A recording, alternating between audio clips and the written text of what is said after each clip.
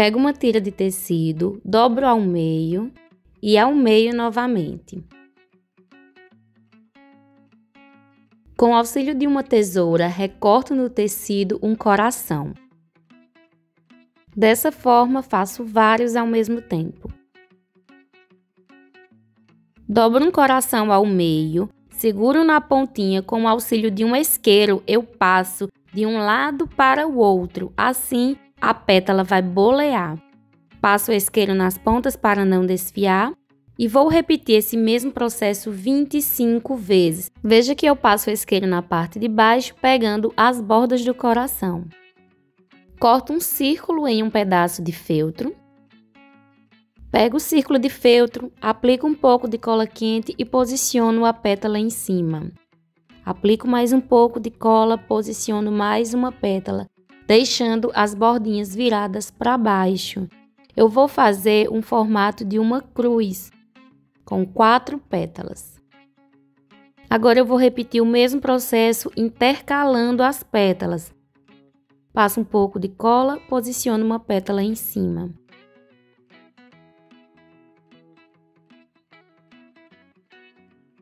Agora pego a flor e pressiono o meu dedo no centro dela, na palma da minha mão, para bolear. Pego uma pétala, passo um pouquinho de cola, veja que eu aplico bem no finalzinho dela. Posiciono uma pétala em cima, passo mais um pouquinho de cola, posiciono mais uma pétala, vou repetir por quatro vezes. Aplico cola, posiciono uma pétala em cima. Vou aplicar cola na primeira pétala que eu coloquei e vou fechar. Aplico cola no centro da flor e posiciono essas quatro pétalas observando para deixá-las intercaladas. Aperto para bolear. Repito esse processo mais uma vez, colo uma pétala na outra. Passo cola no centro da flor e posiciono intercalando as pétalas. Pego duas pétalas, posiciono uma em cima da outra e enrolo.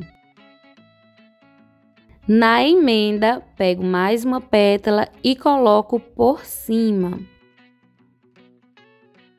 Enrolo, coloco mais uma pétala por cima e enrolo novamente. Lembrando que a parte direita do tecido vai ficar para dentro para que as bordas boleadas fiquem viradas para fora. E assim eu vou repetir esse processo por sete vezes. Sempre na emenda eu coloco mais uma pétala e enrolo. Na última pétala, aplico um pouquinho de cola e pressiono.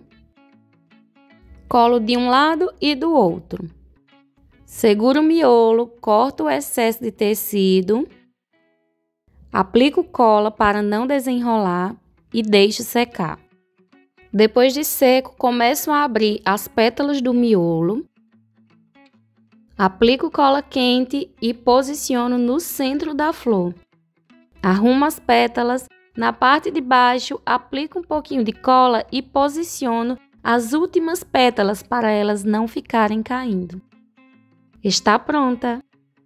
Pego uma piranha ou presilha, broche, passo cola quente na base e posiciono a flor. Pressiono para fixar bem. Repito o mesmo processo do outro lado.